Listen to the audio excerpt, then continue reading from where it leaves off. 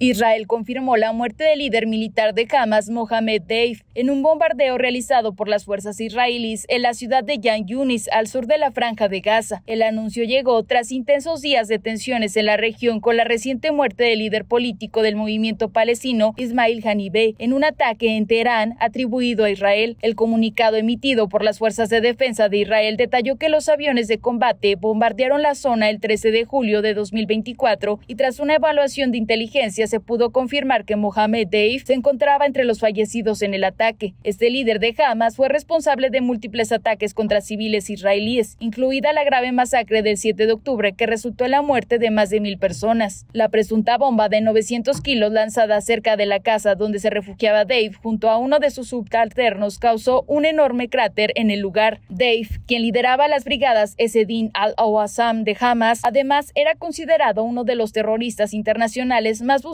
figurando en la lista estadounidense desde el 2015. El Ministerio de Sanidad de Gaza reportó inicialmente que más de 90 personas murieron en el ataque del 13 de julio, aunque jamás negó en un principio que Dave estuviera entre las víctimas. La eliminación de este líder militar representó un duro golpe para la organización palestina y marca un hito en la lucha contra el terrorismo en la región.